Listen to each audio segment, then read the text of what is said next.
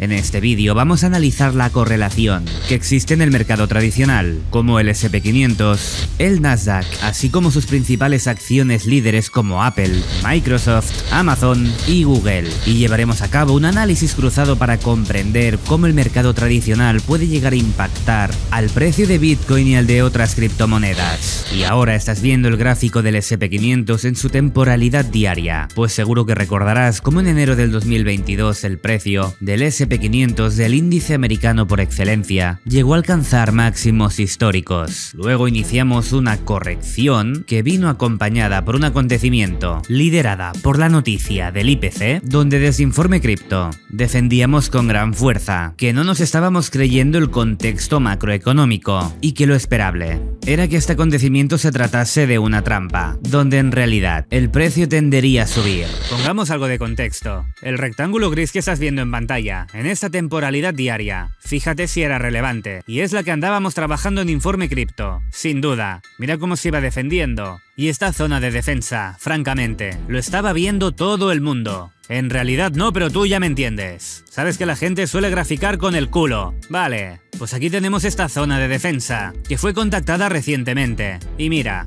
viene nuestro amigo, nuestro amigo el fundamental. Trampa bajista, absorción clara y evidente. Y nos perforan el crick de la compresión. Para mí el SP500 es alcista. Ahí lo llevas. Dicho esto, lo que estamos viendo es un proceso claro de acumulación alcista, donde identificamos al CRIC en el nivel de precio de 4.187 dólares. Pues aquí el Smart Money ha estado acumulando sus posiciones largas, especialmente, especialmente en esta parte tan baja, y después de perforar al CRIC, mira si el precio suele trabajar el mismo tipo de estructura que vino a validar la estructura para luego dar continuidad a su movimiento. Conceptos que trabajamos a diario en los vídeos de Informe Cripto, así como en los directos que hacemos prácticamente a diario en Informe Cripto Premium. Pues bien, sabemos que las grandes instituciones trabajan targets institucionales ya preestablecidos, y en este caso el primer target nos lleva al nivel de precio de 4.640 dólares, que como te puedes fijar ya fue satisfecho. Fue luego cuando fueron a buscar al CRIC para hacer un test, buscar esa validación, y ahora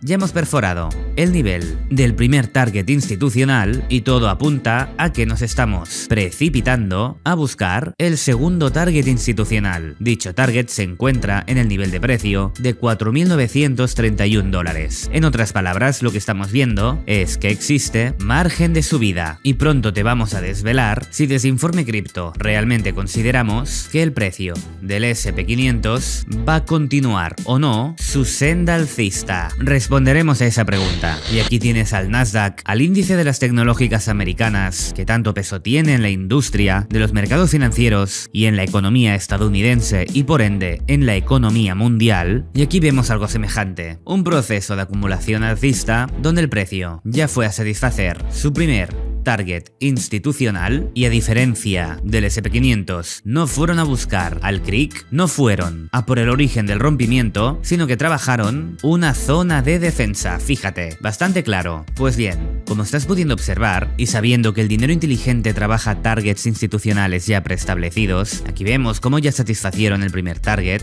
ya obtuvieron su beneficio, entonces han trabajado una pequeña corrección, un pequeño descanso para perforar la zona del primer target y dirigirse, al igual que el SP500, al segundo target institucional. En este caso lo encontramos en el nivel de precio de 17.577 dólares. En otras palabras, aquí también tenemos ese margen de subida y para entender si realmente este será el fin para iniciar una corrección, para simplemente trabajar un upthrust macro sobre el máximo histórico o en cambio la historia simplemente va a continuar subiendo, pronto te voy a dar esa respuesta, pero nos vamos a ayudar y de una forma muy sabia de las principales acciones americanas que al final influyen en el SP500 y especialmente en el Nasdaq.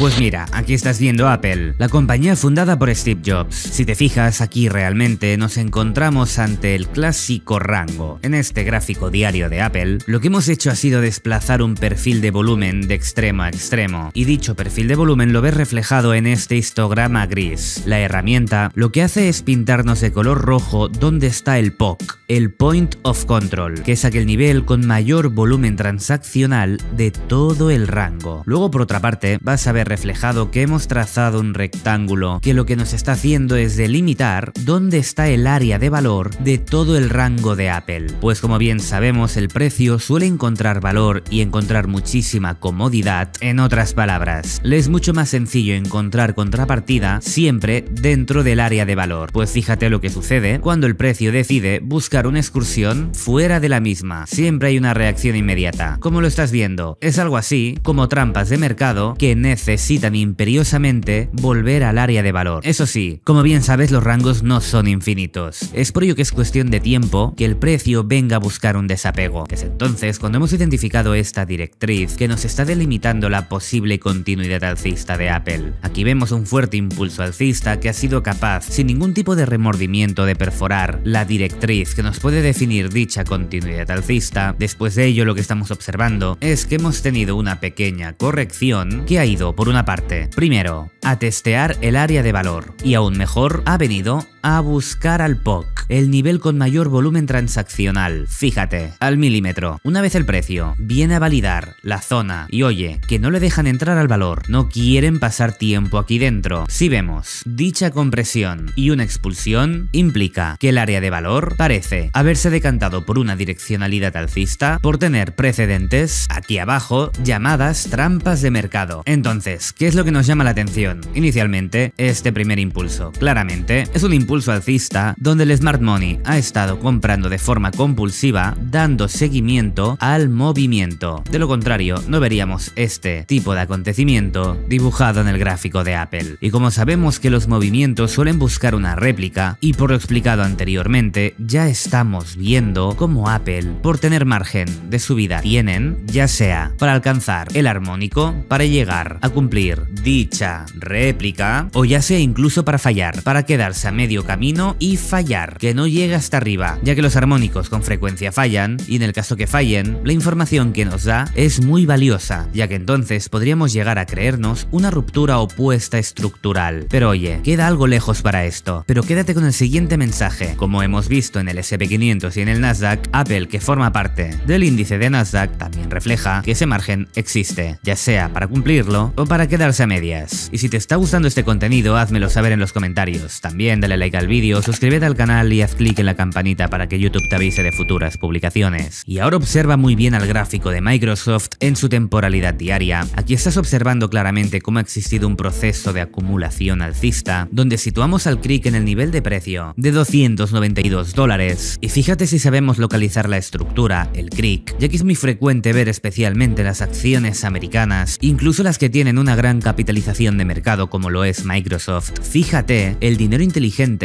como en un acontecimiento tan importante como es romper un crick con fuerza para irse al alza, fíjate cómo en este tipo de acontecimientos lo que hacen es generar una sensación inicial de compresión y ruptura agresiva, cierran el mercado y en las transacciones, ya sean nocturnas o de fin de semana, el smart money nos abre el precio aquí arriba. Primero te creo una sensación de caída para engañar y te abro aquí arriba. ¿Con qué objetivo? Muy fácil, no quieren que te sumas a la fiesta. Por eso muchas rupturas de niveles estructurales del mercado de las acciones americanas lo hacen con gaps, como este que estás viendo aquí. Y esto te lo explico también para que puedas ver de forma clara cómo el dinero inteligente está involucrado en este movimiento alcista del mercado. Vaya, como en cualquier movimiento. Y ahora fíjate cómo el dinero inteligente trabaja targets ya preestablecidos siempre. Y fíjate cómo fueron al target institucional número uno situado en el nivel de precio de 367 dólares. Y cómo recientemente el precio nos ha hecho un upthrust potencial y ha batido su máximo histórico. Vaya, en Microsoft deben de estar de fiesta. Pues mira, cuando vemos que el dinero inteligente va al target número uno como lo ha hecho para corregir y perforarlo, existen posibilidades entonces de ir a buscar el segundo target institucional, que en este caso se encuentra en el nivel de precio de 413 dólares. Por lo tanto, ¿cuál es la lectura? Por tener margen potencial de subida, lo tenemos. Y esa subida no va a garantizar en ningún caso, por el momento, que la fiesta continúe. Pero tranquilo, que pronto te explico cómo vamos a interpretar, según lo que veamos en el gráfico, lo que esperemos que pueda ocurrir en el medio y largo plazo, no solo del mercado tradicional, sino la implicación y correlación que puede tener en el mercado cripto.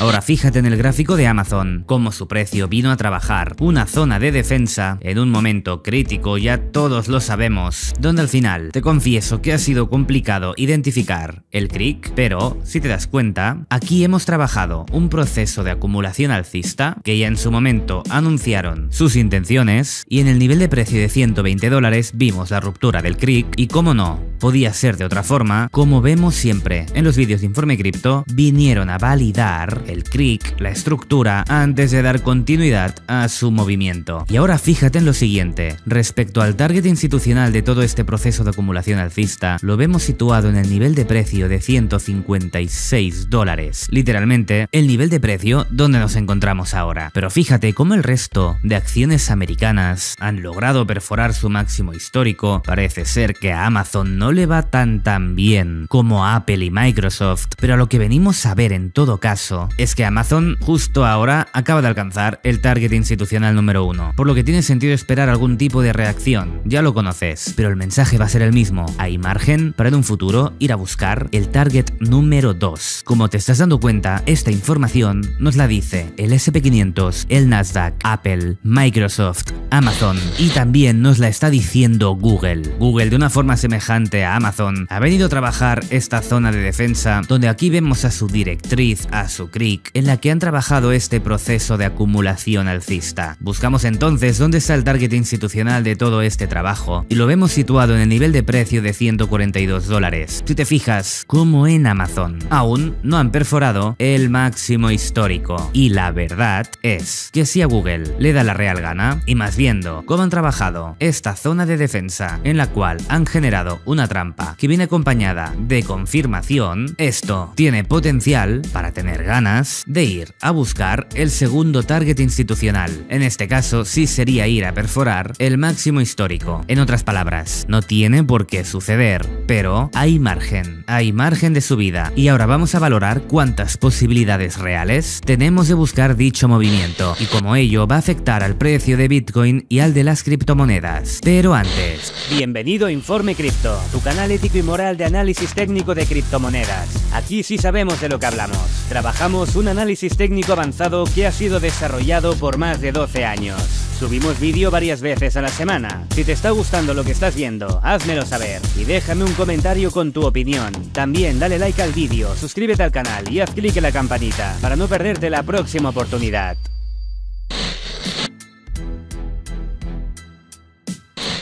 Fíjate en el precio de Bitcoin en esta temporalidad diaria y lo que estamos viendo es como el precio ha venido a buscar hace bien poquito al origen del rompimiento. Ya sabemos que el precio, después en este caso de haber trabajado un proceso de distribución, lo más frecuente es ver cómo la cotización, da igual, sean acciones o sean criptos, van a buscar esa directriz. Siempre hay dicha tentación y por costumbre solemos ver también cierta reacción. Es por ello que nos encontramos en un punto muy dulce para Bitcoin y para todo el ecosistema cripto. Entonces, ¿qué conclusión sacamos del análisis tradicional? Pues mira, como estamos diciendo, el SP500 tiene dicho margen de subida. Vaya, que haga lo que quiera, que suba si quiera. En ese transcurso, estaríamos viendo a Nasdaq también subiendo hasta su target institucional número 2, a Apple buscando algún tipo de continuidad al armónico sin necesidad de cumplirlo, a Microsoft después de perforar el target número 1, que tenga esa ligera idea de buscar el target número 2 lo alcance o no, y lo propio con Amazon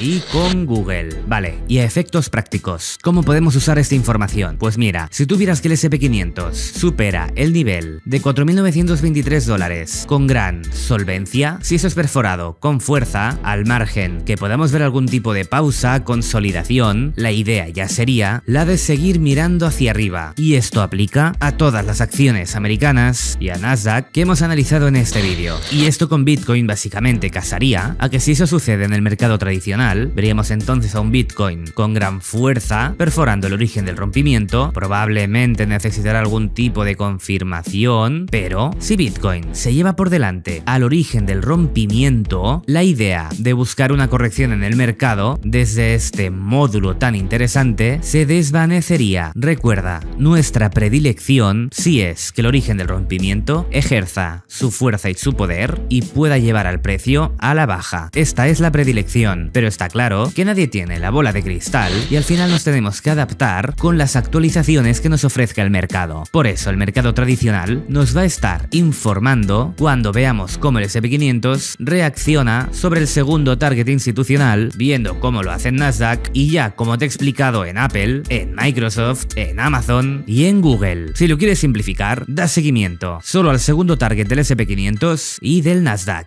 Espero que te haya parecido interesante este análisis técnico de medio largo plazo del mercado tradicional y del mercado cripto, que no se ha tratado de otra cosa que de un especial navideño. Espero que estés disfrutando de estas fiestas con los tuyos, que seas un poco más feliz y te deseo muy buen trading en el próximo año 2024. Y si te ha gustado este video análisis especial, házmelo saber en los comentarios, así traeremos más al canal. También puedes apoyarnos dándole like a este vídeo, suscribiéndote al canal y haciendo clic en la campanita para que YouTube te avise de futuras publicaciones. Y por supuesto te invito a que compartas nuestro contenido con amigos y con grupos de trading y de criptomonedas. Te deseo mucha suerte y nos vemos en la próxima. ¡Feliz Navidad!